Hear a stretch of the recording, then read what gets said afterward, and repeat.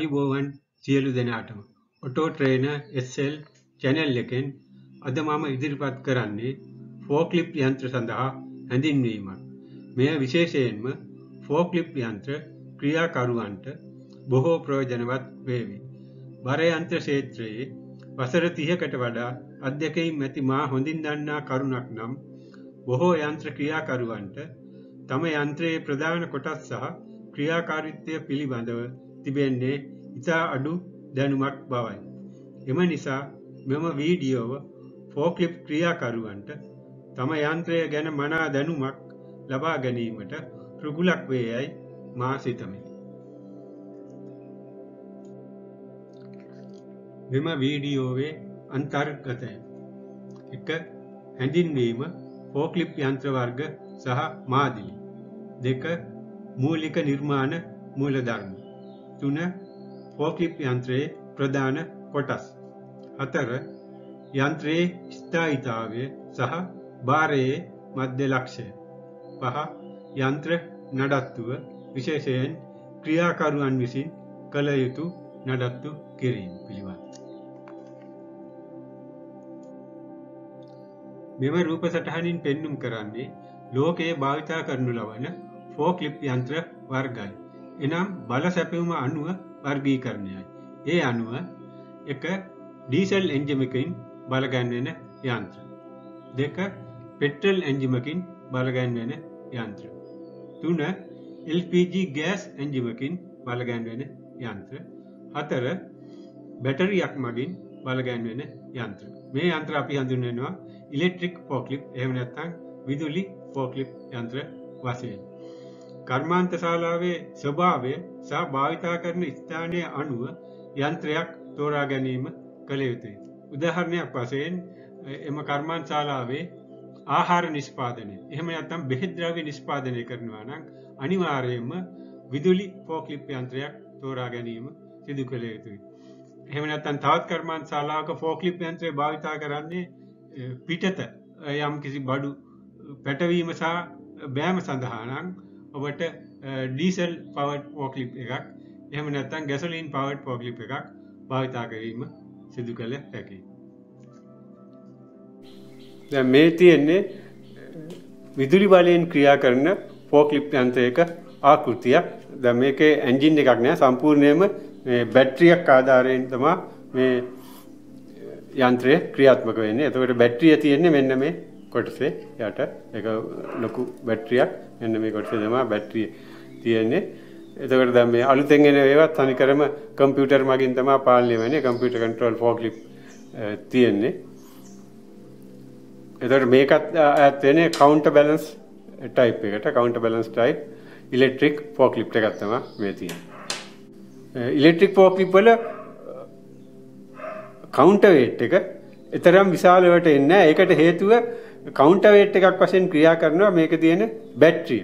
බැට්‍රියත් සාමාන්‍යයෙන් ටොන් එකකට ආසන්න ප්‍රමාණයක් බර වෙනවා.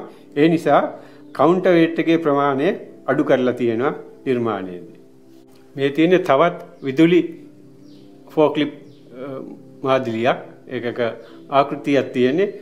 දැන් මේක අපි හඳුන්වන්නේ බොහෝ විට 3 wheeler එකක් වශයෙන් ඒකට හේතුව මේක ඇත්තෙන්ම තියෙන්නේ රෝද 1 2 පිටිපස්සේ සෙන්ටර් එකේ තමයි රෝද සෙට් එකක් තිබුණාට අපි ඒක එකක් වශයෙන් ගණන් ගන්නේ. මැද තමයි රෝද තියෙන්නේ. ඒක නිසා මේක සාමාන්‍යයෙන් හඳුන්වන්නේ 3 wheel forklift එකක් වශයෙන්. දැන් මේකේ තියෙන විශේෂත්වය තමයි මේ forklift එක අංශක 360ක් එක තැන කරකවීමේ හැකියාව තියෙනවා අනික් forklift වගේ නෙමෙයි. ඒ නිසා විශේෂයෙන්ම warehouse ඇතුලේ මෙම forklift එක හුඟක් ජනප්‍රිය වෙලා තියෙනවා. ඉතාමත්ම හොඳින් හැරවීම ඔන් ද ස්පොට් අන්සක තුන්සී ඇටට හරවන්න පුළුවන් මේ ෆෝක්ලිප් එක.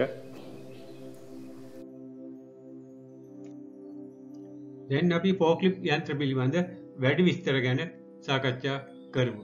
දැන් මේ රූපසටහනේ අංක එකෙන් කියන්නේ ටොන් තුනට අඩු ෆෝක්ලිප් යන්ත්‍රවල සාමාන්‍යයෙන් පලල අඩි හතරට වඩා අඩුවයි නිර්මාණය කරලා තියෙන. ඒකට විශේෂ හේතුවක් තියෙන විශේෂයෙන්ම වේහරවස් ඇතුළේ භාවිතා කරන ෆෝක්ලිප් යන්ත්‍රවල ගමන් කිරීමට තියෙන්නේ සීමිත ඉඩකඩ ප්‍රමාණයක් විතරයි. ඒ රැක් අතර. එතකොට එවැනි සීමිත ඉඩකට ප්‍රමාණයක් තුළ පහසුවෙන් මෙම යන්ත්‍රයේ හැසරීම සඳහායි මෙහි පලල අඩි හතරකට සීමා කරලා තියෙන. ඉළඟට දෙවැනි කරණ වෙන්නේ එකත් පෝකලිප් යන්ත්‍ර සඳහා විශේෂ දෙයක්. අඩු ඉඩකඩ ඇති ස්ථානයක හැසිරවීමේ හැකියාව සඳහා පිටුපස රෝධවලින් හැරවීම තමා පෝකලිප් යන්ත්‍රවලින් කරන්න. දැන් ලෝකේ භාවිතාන බොහෝ වාහනවල තියෙන්නේ ෆ්‍රන්ට්වීල් ස්ටියරින් කියන එක. නමුත් පෝකලිප් යන්ත්‍රයක තියෙන්නේ රයාවීල් ස්ටියරින් කියන එක. එතකොට මේ රයාවීල් ස්ටියරින් කියන නිර්මාණය නිසා පෝකලිප් යන්ත්‍රයක් අඩු ඉඩකඩ ප්‍රමාණයක පහසුවෙන්ම හැරවීම සිදු කළ හැකි. අනිත් කරන්න තමා ෆෝකලිප් යන්ත්‍ර ඉතා බල සම්පන්න ඉතාමත් ශක්තිමත්. බොහෝ ෆෝකලිප් යන්ත්‍ර තියෙන ටොන් පණහා දක්වා ලෝඩ් එකක් ඔසවන්ට පුළුවන්. දැන් මේ රූපසටහනෙන් එක පැහැදිලි කරලා තියෙනවා. ඒ වගේම මීටර් 10ක් දක්වා උසට විශාල අඩි 40 කන්ටේනර් ඔසවන්න පුළුවන්.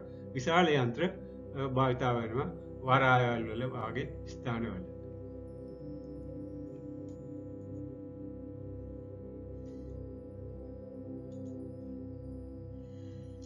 දැන් අපි බලමු ෆෝක්ලිප් යන්ත්‍රයක තියෙන ප්‍රධාන කොටස් මොනවද කියලා. දැන් මේ රූප සටහන අනුව ඉස්සල්ලාම අංක 1 මෙතන තියෙන්නේ මාස්ට් කියන එක. දැන් මෙන්න මේ කොටස තමයි අපි මාස්ට් එක කියලා හඳුන්වන්නේ. මෙන්න මේක විශාල කොටසක්. මෙන්න මේ කොටස තමයි ෆෝක්ලිප් යන්ත්‍රයක මාස්ට් එක කියලා කියන්නේ. එතකොට මාස්ට් වර්ග ප්‍රධාන වශයෙන් හතරක් තියෙනවා. අපි ඒ පිළිබඳව පසුව වැඩි විස්තර කතා කරමු. ඊළඟට දෙවනි කොටස මෙන්න මේ කොටස අපි හඳුන්වන්නේ බැක්රෙස්ට් කියලා. එතකොට මේ බැක්රෙස්ට් එකෙන් කරන්නේ අපි ගන්න ලෝඩ් එකට සපෝට් එකක් දෙන එක.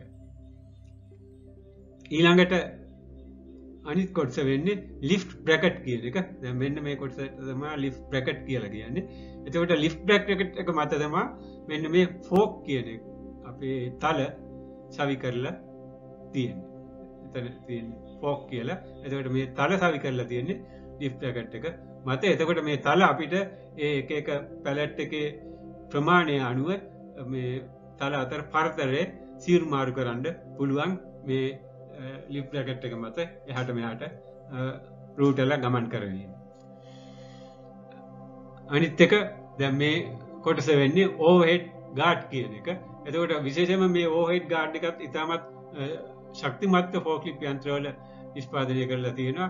එකට හේතුව සමාරවස්ථාවල අනතුරු එන්ඩ පුළන් මේ අපි ලෝඩ් එකක් ඔඩට එසව්වට පස විශේෂෙන් පෙට්ටිවාගේ දේවල් අපි මේක පිටිපස්සට ටිල් කරද්දි ඒ පෙට්ටියක් පෙරලිලා ආවොත් එහෙම කෙලින්ම ඔපරේටගේ ඔලු උඩටයි එන්න. එතකොට ඒ ඔපරේටව එවැනි අනතුරකින් ආරක්ෂා කර ගැනීම සඳහාදමා මේ ඕහෙඩ් ගාඩ් එකක් පෝකලිප් යන්ත්‍රවල ඉතාමත් ශක්තිමත්ත නිර්මාණය කරලා තියෙන්නේ. ඊළඟට මෙතන පිටුපැස්සේ තියෙනවා කවුන්ට වේට් කියන එක.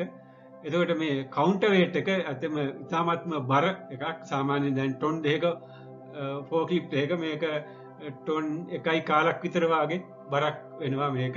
එතවට මේ කවුන්ට වේට් එකෙන් තම ඇත්තෙම මේ ඉදිරි පස අපි ගන්නා ලෝඩ් එක බැලන්ස් කරලා දෙන්න. දැන් කවුන්ට වේට් එකක් නැතුව අපි ලෝඩ් එකක් කිස්සුවත් එන්නේ ෝකලිප් එක අනිවාර්යම ඉස්සරහට. පෙරලෙන් එක ටිපෝරෙන එකයි සිද්ධ වෙන්න. එතකට මේ ලෝඩ් එක බැලන්ස් කිරීම තමා මේ කවුන්ට වේට් එක කරන්න. ඒකයි මේක විශාල භාරයක් සහිතව නිස්පාදනය කරලා තියෙන්නේ. ඊළඟට දැන් නවීන ෆෝකලිප්ටෝල මෙතන ඔපරේටගේ සීට් එක බොහම සැප පාසුව අතර තියෙනවා. ඊළඟට සේප්ටි බෙල්ට හෙකුත්තෙනවා දැන්ගෙන ෆෝකලිප් වල. අනිත්තක දැම්මතන පිටුපස රෝධ මේ රූපසටාන පෙල්ලන්නේ එතකට ෆෝකලිප් යන්ත්‍රමන් කල්නු සඳන් කළ විදිට හැරවීම සිදු කරන්න පිටුපස රෝධවලින් ස්ටියරින් ක්සල් එක. එතකොට පිටිපස රෝධවලින් තම හැරවීම සිද්ධ කරන්නේ. අනික මතක තියායන්ට ෝපික් යන්ත්‍රයේ බ්‍රේක් තියෙන්නේ ඉස්සරහ රෝධවලට පමණ පිටිපස රෝධයට බ්‍රේක් එන්නේ නෑ ඊළඟට මෙතන තියෙන්නේ ෆ්‍රන්ට්වීල් එක පෝකලිප් යන්ත්‍රයක එතකොට ෆ්‍රන්ට්වීල් එකට තමා ඇන්ජිමේ බලය. මෙතන ඩ්‍රයිව් ක්සල් ඇන්වීල් කියල කාල දෙන එක. එතකොට ඇන්ජිමේ කැරකුම් බලය ලැබෙන්නේ ඉස්සරහ රෝධවලට දැන්ව සාමානෙන් කාරලත් දැංකුගක් භාවිතාවන්න ෆ්‍රන්ට්‍රීල් ්‍රව් කාරවාගේ ඒ ෆෝකලිප් දේතෙන්නේ එලවීම සිදු කරන්නේ ඉදිරිපස රෝධ දෙකෙන්. පිටිපස රෝධයෙන් කරන්නේ හැරවීම පමණයි. එතවට බ්‍රේක් තියෙන්නේ ඉදිරිපස රෝධවලට පමණයි පෝකලිප් යන්ත්‍රයක. එතවට බොහෝවිට ෆෝකලිප් යන්ත්‍රවල ඉදිරිපස රෝධ ටිකක් විශාලව හදර තියෙන පිටිපස රෝධ කුඩාවට තියෙන කියන්නේ භාරයක් එසවීමේදී මුළු ලෝඩ් එකමෙන් වැඩි හරියක් එන්න මේ ෆ්‍රන්ට් ඇක්සල් එකටයි මේ රෝධවලටයි නිසා. ඒ විශාල භාරයක් දරාගණ්ඩ පුළුවන් විදියට සමාරයවල ඩබල් වීල් දාලා ශක්තිමත්ත නිර්මාණය කර. දැන් මේ තියෙන්නේ ටොයට 8 සීරිස් ටොන් දෙක හමාර පෝක්ලිප් එක ආකෘතියක් මම දැන් මෙම ආකෘතිය භාවිතයෙන් ඔගලන්ට ෆෝක්ලිප් යන්ත්‍රයේ තියෙන ප්‍රධාන කොටස් පිළිබඳ තවදුරටත් පැහැදිලි කරනවා. එතකොට ආකෘතියක් භාවිතා කිරීමේදී ඔයගලන්ට වඩා හොඳ අවබෝධයක් ලැබෙයි ෆෝක්ලිප් යන්ත්‍රයේ තියෙන ප්‍රධාන කොටස් පිළිබඳව. දැන් පළමුවම ඉස්ලාම් මේ ඉස්සරහින්ම තියෙන්නේ ෆෝක්ලිප් යන්ත්‍රයේ තල. එහෙම නැත්නම් අපි ඉංග්‍රීසියෙන් ෆෝක් කියලා කියන්නේ. තල දෙකක් තියෙනවා. ඊට පස්සේ දැන් මේ තල සයි වෙලා තියෙන කොටස අපි හඳුන්වනවා. මෙන්න මේ කොටස ඒක කැරේජ් එක වශයෙන් මේ තියෙන්නේ කැරේජ් එක. තව සවි වෙලා කරන කොටස. ඊට පස්සේ ඒ කැරේජ් එකට තව සවි වෙලා තියෙනවා අනිත් කොටස. මේක අපි හඳුන්වනවා බෑක් රෙස්ට් කියලා. එතකොට මේ බෑක් රෙස්ට් එකෙන් කියන්නේ කරන්නේ අපි ඔසවන ලෝඩ් එක තව දුරටත් සපෝට් කරලා තියෙන එක. එතකොට මේ කැරේජ් එක සවි වෙලා තියෙන්නේ දම්වැලක් ආධාරයෙන් මෙන්න මේ මාස්ට් එකට මෙන්න මෙතන ඉඳන් මේ සම්පූර්ණ කොටස තමයි අපි මාස්ට් එක වශයෙන් හඳුන්වන්නේ. එතකොට මාස්ට් එකේ ඇත්තම ප්‍රධාන වශයෙන් කොටස් දෙකක් තියෙනවා. මෙතන මේක අවුටර් මාස්ට් කියලා කියනවා මේ පිටින් තියෙන කොටසට. මේ ඇතුලෙන් තියෙන කොටසට අපි කියනවා ඉනර් මාස්ට් කියලා. එතකොට මාස්ට් වර්ග හතරක් තියෙනවා. ඒ පිළිබඳව මම ඔයගොල්ලන්ට පස්සේ පැහැදිලි කරන්න. මේක ඇත්තෙම V මාස්ට් කියන වර්ගයේ මාස්ට් එකක් තමයි මේ ෆෝක්ලිප් යන්ත්‍රයට සවි කරලා තියෙන්නේ. ඊළඟට මේ උඩ මේ කොටසට අපි කියනවා මේ ඕහෙඩ් ගාඩ් එක කියලා. මේක ඕහෙඩ් ගාඩ් එක. ඊට පස්සේ ෆෝක්ලිප් යන්ත්‍රයක තියෙන විශේෂම උපකරණයක් තමයි ඒ පිටිපස්සෙන් තියෙන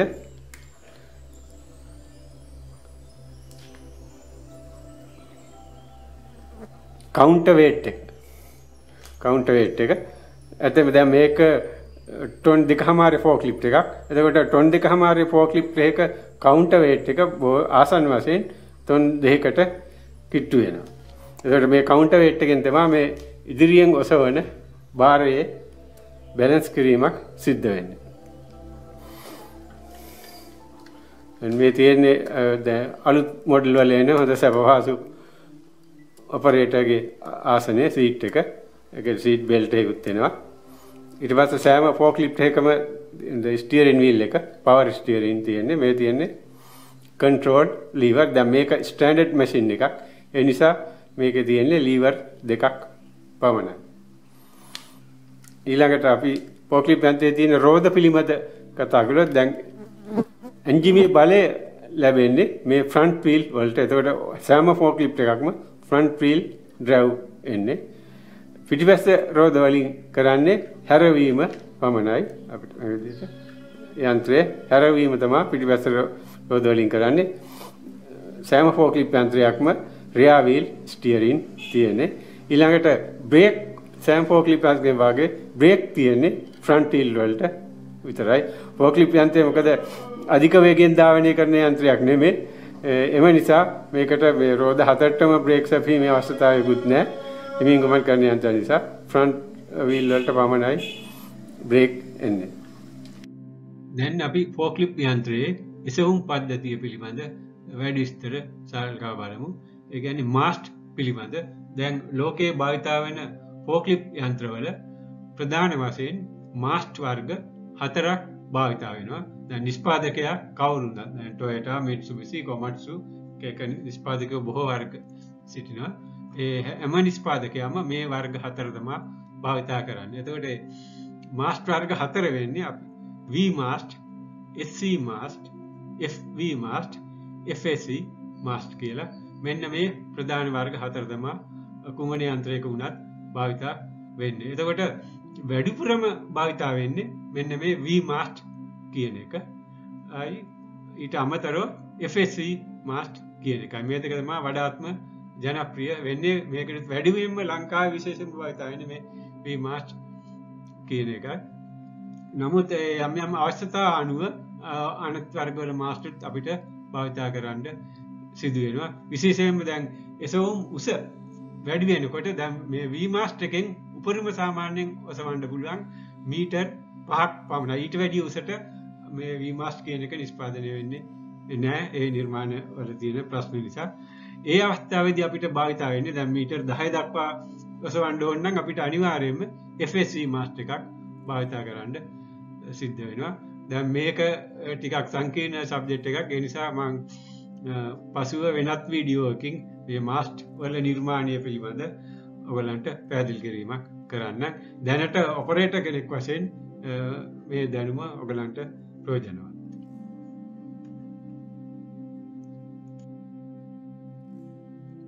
දැන් අපි ෆෝක්ලිප් යන්ත්‍රයේ තියෙන පාලන උපකරණ පිළිබඳ බලමු දැන් පළවෙනිම ඉස්සෙල්ලාම තියෙන්නේ ස්ටියරින් වීල් එක. එතකොට සෑම ෆෝක්ලිප් යන්ත්‍රයකම කව ස්ටියරින් භාවිතා වෙන්නේ. ඒ කියන්නේ මේක විශේෂයෙන් බර යන්ත්‍රයක්. ඊළඟට අපි බර එසවීම සඳහා භාවිතා කරන්නේ.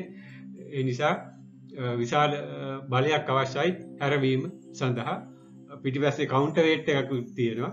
එතකොට ඒ නිසා අනිවාර්යයෙන්ම සෑම ෆෝක්ලිප් යන්ත්‍රයකම පවර් ස්ටියරින් තියෙන්නේ. ඒක ඉලෙක්ට්‍රික් වෙන්න පුළුවන්, හයිඩ්‍රොලික් වෙන්න පුළුවන්. අනිත් එක ෆෝක්ලිප් යන්ත්‍රය ඩිසයින් කරලා තියෙන්නේ මේ අත් මේ ස්ටියරින් වීල් එක අත් දෙකෙන්ම හැරවීම සඳහා නෙමෙයි. ෆෝක්ලිප් යන්ත්‍රය හැම විටම ඔයගොල්ලෝ ක්‍රියා කරවද්දී වම් අතින් මෙන්න මේ නොබ් එක භාවිතා කරලා හැරවීම සිදු කළ යුතුයි. ඉතාමත් පහසුවෙන් ඇත්තෙම ෆෝක්ලිප් යන්ත්‍රයක හොඳ පවර් ස්ටියරින් සිස්ටම් එකක් තියෙන්නේ. ඇඟිලි දෙකෙන් උනත් මේ කොච්චර බර වුණත් යන්ත්‍රය ඔයගලන්ට පහසුවෙන්ම හරවන්න පුළුවන්. එතකොට ෆෝක්ලිප් යන්ත්‍රයක් ක්‍රියා කරන විට හැම විටම ඔයගලන්ගේ වම් අත තියෙන්න ඕනේ මෙන්න මේ නොබ් එකේ. කාර් එකක් එලවනවා විදිහට කිසිම දවසක ෆෝක්ලිප් යන්ත්‍රයක් අත් දෙකෙන් එලවන්න එපා. ඒක මේ වැරදි ටෙක්නික් එකක්. Wrong technique. ඔය සමහර ඔපරේටර්ස්ලා ඒක කරනවා. ඒක සම්පූර්ණයෙන් වැරදි. වම් අත පමණයි භාවිත කරන්න ඕනේ ෆෝක්ලිප් යන්ත්‍රයක් ක්‍රියා කරවීම සඳහා. ඊළඟට ඔයගලන්ගේ දකුණු අත හැමතිස්සෙම තියෙන්න ඕනේ මෙන්න මේ ලීවර් අද ගමන් අවශ්‍යතාවය අනුව මේ ලිවර් වලින් ඒක ඔගලන්ගේ අත තියෙන්න ඕන දැන් මේ යන්ත්‍රේන ඔගලන්ට මේ රූපසටානය පෙන්නවා ලීවර් හතරක් තියෙන නමුත් සම්මත වසයෙන් යන්ත්‍රවලෙන්නේ ලීවර් දෙකයි ස්ටෑඩඩ් මැසින් එක එන්නේ ලීවර් දෙකයි. ඒක දැම් මේ පලවෙනි ලීවරෙන් අපි කරන්නේ තල එසවීමසා පහත් කිරීම. ලිෆ්ටින් ලෝවරින් කියන එකයි. එතවට මේ දෙවනි ලීවරගෙන් අපි කරන්නේ මාස්ට් එක ටිල් කරන එක. ඉස්සරහට ආනත කිරීම සහ පිටු පසට ආනත කිරීම තමා මේ දෙවනි ලීවර එකෙන් කරන්නේ. එතකොට මේ අමතර එන ලීවර් අපි හඳුනන්නේ ඔප්ෂනල් ලීවර් ඒවා ඒ එක එක කර්මන් ශාලාවල අවශ්‍යතාවය අනුව තමා ඒ අමතර ලීවර්ස් සමහර මැසින් තින ලීවර් තුනේ එන්න සමහරය දැ මේ රූප රණ පෙන්න්න ලීවර් හතරත් තියෙන මැසින් එක අපි වගෙන ඇටච්මන්් අනුව තමා මේ අමතර ලීවස් එන්නේ.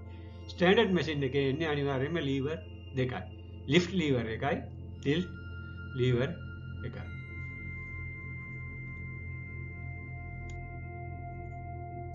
දැන් අපි ෆෝක්ලිප් යන්ත්‍රයක තිබෙන මේ ඉන්ස්ට්‍රමන්ට් පැනල් එකේ තියෙන කම්බිනේෂන් මීටර් එක පිළිබඳ ඉගෙන ගනිමු.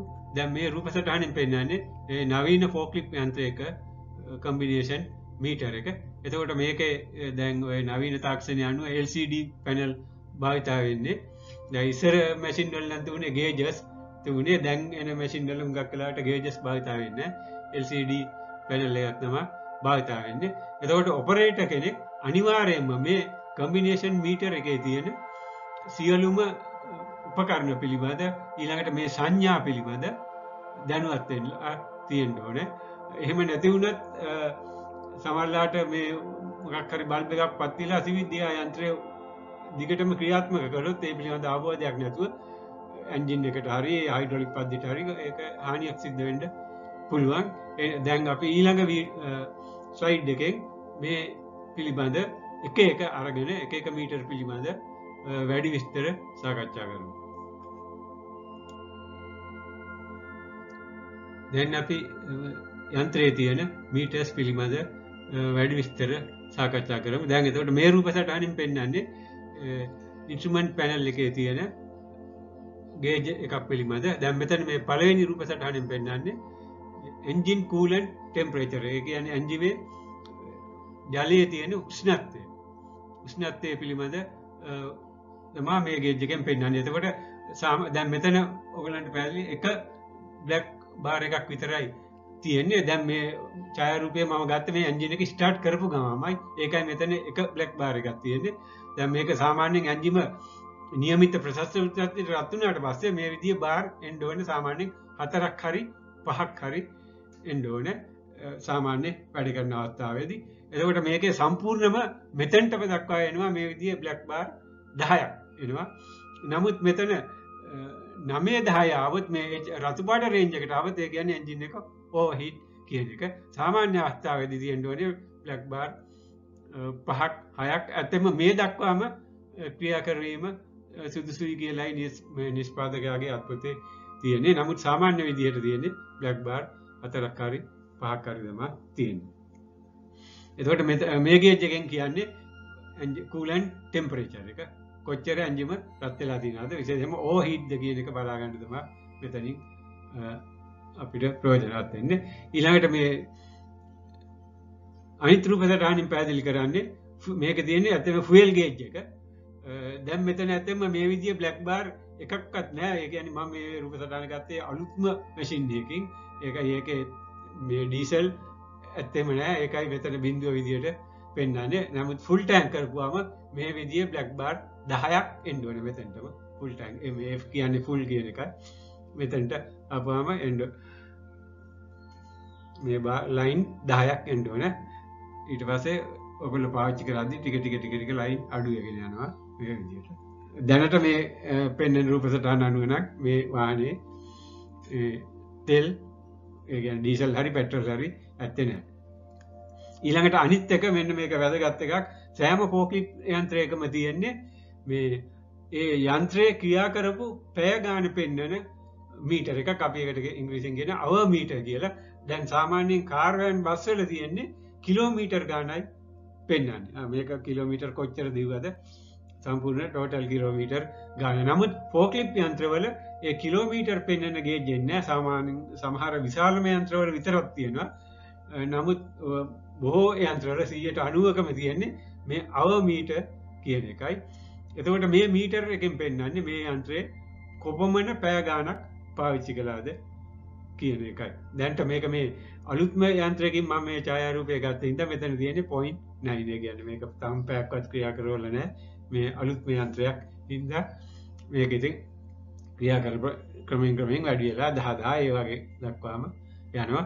එතකොට මේ යන්ත්‍රය තියෙන මේ අවමීටරගේ තියෙන වැදගත්කම වෙන්නේ මේ මීටර එක තම අපි භාවිතා කරන්නේ යන්ත්‍රය සර්විස් කිරීම සඳහා. දැවවල දන්න අපි කාර එකක් සර්විස් කරන සාමානය කිලෝමීටර් පන්දායිම් පන්දාට කියලා සර්විස් කරන දැන් ෆෝකලිප් යන්ත්‍ර සර්විස් කරන්න අපිට ඒවිදි එකක් නෑ කිලෝමීටර් ගානක් දැන් ඒ වෙනුවට නිස්පාදක අපිට දීලා තියෙන මෙන්න මේ අව මීටරගේ අනුව එතකට සාමාන්‍යෙන් අවස් දෙසිය පණහැන් දෙසිය පණහට තමා ඒ ඔයිල් මාර්ගරීම් ෆිල්ටර් මාර්ගරීම් කරන්න ඕන. ද මේ එක එක නිස්පාදක යනුව මේ අගයන්න එන්න පුළුවන්. ඒ පිළිබඳ අපි වෙනම පසුව සාකච්ඡා කර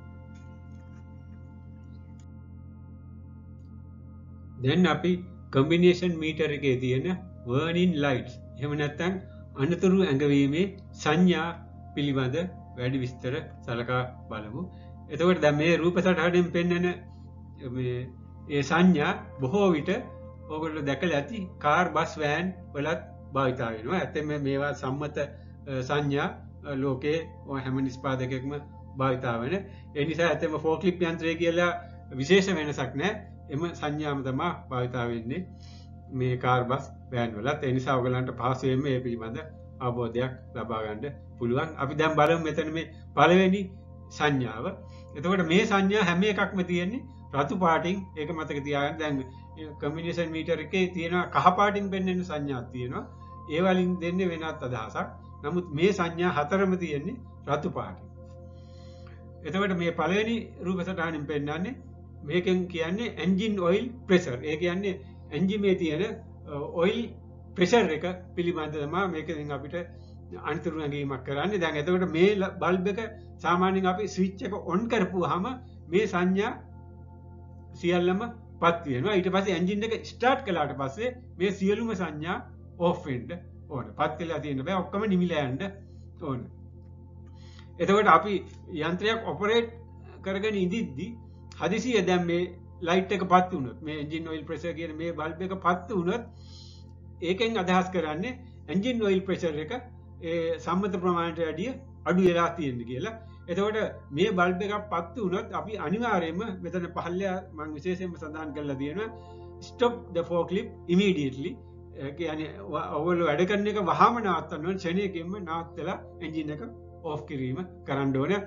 මේ සංඥා හතරෙන් කුමන එකක් පත්තු වුණා එතකට දැම් මේ බල්දක පත් වනොත් ඒකෙන් කියන්නේ ඇන්ජින් ඔයිල් ප්‍රෙසර එක අඩුයි කියන එක. දැන් ඒ සඳහා හේතු කීපයක්ම තියෙන්ට පුලන් දැම් ප්‍රධාන සාමාන්‍ය ඒතු වෙන්ඩ පුලන් ඇන්ජින් නොයිල්ල එක ලෝලෙවල් එකටත් ඇඩිය අඩුන්හාම ප්‍රෙසර් එක අඩුවෙන් එහම නැත්තන් ඇන්ජින් එක ගෙවිල් ඇතුුණත් එහෙම නැත්තන් ඔයිල් පම්ප එක ඔයිල් පම්ප එක මොකක්කාරි ශාප්ත එකක් කැඩිලා හරි ඒවිදිිය හේතු ගණනාවක්ම තියෙන මේ බල්බක පත්තියෙන්ට නමුත් මොන හේතුවක් නිසාද ඔගල ඔපරේට වසෙන් නොගොල කරන්නඩුවන මේ ඔයිල් ප්‍රෙසර් බල්බ එක පත්වන්න තෝගොල්ල යන්ත්‍රය ක්‍රියා කරද්දී ඒ ෂණයකින් මැංජින නාත්තලා කාර්මික මහත්තයකුට ඒ පිළිබඳ දැනු දෙන්න. එතකොට එයා ඒක පරීක්ෂා කරල බල්ල නිසිපිලියම් යොද. ඊළඟට මේ දෙවනි රූපසටහනින් පෙන්න්නන්නේ මේකනං ඇත්තම ඔප්ෂනල් හැම යන්ත්‍රයම එන්න මේකෙන් පෙන්න්නන්නේ එන්ජින් කූලන්් ලෙවල් ඒ කියන්නේ මේකෙන් පෙන්න්න රේඩියටරේ වතුර මට්ටම. රේඩියටේ වතුර මට්ටම. ඇතම මේ දැන්ගෙන ෆෝකලිප්පලත් මේ වතුර මට්ටම ගන්න මේ රෙසව් ටැන්කින් අර ප්ලාස්ටික් ටැන්කියෙන් ඒ ප්ලාස්ටික් ටැන්ගේ තියෙන වතුරු මට්ටම අඩු වුණොත් මේ බල්බ එක පත්වයන්නේ එතකට ඔකලන්න මේ බල්බික පත්වනොත් කරන්නේ ඒත් වාහන නාත්තල මේ රේඩියටේ වතුර මට්ටම ඇත මේ රෙසව් ටැන්ගේ වතුර මට්ටම් බලලා එක අඩුනක් නියමිත ප්‍රමාන්ට දාන්ට එතකොට මේ බල්ලක නිමිල යන්ඩ ඕන. ඊළඟට මේ තුන්වෙනි රූපසටහනින් පෙන්න්නන්නේ වෝට සෙඩිමෙන්ට එතකොට ඇත්තම මේර් වෝට සෙඩිමෙන්ට කියන එක එන්නේ ඩීසල් ඇන්ජින් සඳහා පමණයි. පෙට්‍රල් ෆෝකලිප් සඳහා මෙම සංඥාව එන්නේ නෑ ඩීසල් ඇන්ජින් සඳහා පමණ යන්නේ එතකට මේ බල්බ එක පත් වනා කියලා කියන්නේ ඩීසල් ෆිල්ටර් එක වතුර ප්‍රමාණය ඉහලට ගිහින් තියෙනවා කියන එක වොට දෙලිමෙන්ට කියන්න. එක දැන් එපිළිමද ම පස්සේ වැඩි විස්තරයක් කරන්න ඊළඟට මේ හතරෙන්න්න රූපසටහනින් පෙන්න්නන්නේ එයා ෆිල්ට කලෝ ඒ කියන්නේ ඔගලන්ගේ යන්ත්‍රය තියෙන එයා ෆිල්ටර් එක. වායු පෙරණය. එයා ෆිල්ටර එක බ්ලොක් උන්හමතමා මෙන්න මේ බල්බ එක පත්වේ යතකට මේ බල්බ එක පත් වනත් ඒත් ඔගල් කරන්න වාහන අත්තල ඒ කාර්මික මහතකට කියල ඉස්සල්ලම කරන්නවන එයා ෆිල්ටර එක. ගලවල බල්ලා ඒ සුද්ධ කරලා දාන්ඩ ඒ සුද්ද කරලා දැම්මට පස්සෙත් මේ බල්ප එක දිගටම පත්තිය නන ඒ ගැන ෆිල්ටර කොන්සටම සෞත්තිරා තියෙන්නේ. අලුත් ෆිල්ටර එකක් දැවීම සිද්ධ කිරීම කළ යුතුයි.